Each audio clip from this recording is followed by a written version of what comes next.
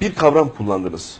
Sosyal bilimlerde, siyaset biliminde e, bizim e, rastladığımız ama çokça da kullanılmayan demokratur isimli bir kavram kullandınız.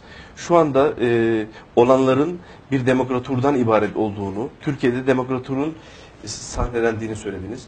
E, ilk kez de bir siyaset siması olarak sizden milletimiz duydu demokraturu. Demokraturdan kastınız efendim neydi? Bunun anlamı neydi? Ve ülkemizde ne şekilde uygulanıyor bu demokratur? Evet. Aynen deminki milli görüş suali gibi demokraturun ne olduğunu açıklatmak suretiyle yine çok mühim bir noktaya temas ediyorsunuz. Hele bir seçim arefesinde milletimizin bunları çok iyi tanıması, bilmesinde büyük faydalar var. Onun için teşekkür ediyorum. Bu tabir Latince bir tabirdir. Diktatör demek, baskı yapan adam demektir. Diktatörle idare edilen bir rejimin adı Latince'de diktaturdur. Gramer yapısı itibariyle diktatur demek, diktatörlükle idare edilen rejim demek. Diktatörlük demek. Diktatörlük demek. Demokrasi demek, halkın kendi kendini idare etmesi demektir. Demokratur demek ise halkın yönetime alet edilmesi demek. Yani halk narkozlanır, ben seçtim zanneder. Halbuki başkaları tarafından tamamen narkozlanmıştır, etkilenmiştir ve o başkası istediğini seçtiriyor. Bu ben seçtim zannediyor. Seçilenler de biz seçildik mi zanneder? O seçilenler de biz kendi marifetimizle seçildik zannederler. Bunun adı demokraturdur. Demokrasi değildir. Şimdi bu ülke emperyalizmin keşfettiği ve geliştirdiği bir muazzam bir sanayidir. Bunu ben söylemiyorum.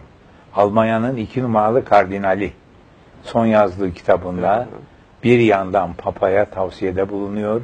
Diyor ki bizim Hristiyanlığımız geriliyor. Müslümanlıktan istifade edin. Lütfen Hristiyanlığı kurtarın. Bunun için de aforoz edilmiştir. Diğer yanda da aynı kitabında diyor ki insanlığın saadeti için ikinci tavsiyem de şudur. İnsanlar diyor ırkçı emperyalizm tarafından demokratur rejimi vasıtasıyla aldatılıyor. Bu insanlara demokraturun tanıtılması lazımdır ki insanlar aldanmasınlar. Demokrasi yerine demokratur uygulanıyor diyor. Yani ırkçı emperyalizm çeşitli ülkelerde. Mesela Uganda'da misal olarak söylüyorum. Evet. Filanca insanı iktidara getirmek istiyor.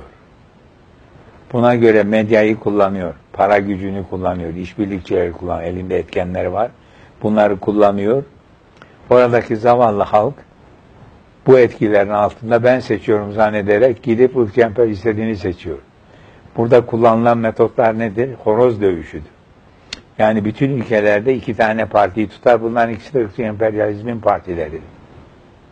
Amerika'da, Cumhuriyetçi Parti'de, Demokrat Parti'de sonunda emperyalizm, emperyalizme tabidirler. Almanya'da sosyal demokratlar, Hristiyan demokratlar da böyledir. Bu geliştirilmiş bir metottur. Ben yaptım zannediyorlar. Halbuki etkiyle yapılıyor. Şimdi bu iki tane horoz dövüşü yaptırılıyor. Ekranlarda siz seçim boyunca sadece iki parti var zannediyorsunuz. Tıpkı Türkiye'de AKP ile CHP ile oynanan horoz dövüşü oyunu gibi. Bunlar arasında ne fark var Allah aşkına temelde? Şimdi bunu söylediğim zaman bazı kardeşlerimiz yadırgayacak. Ben temel meselelerden bahsediyorum.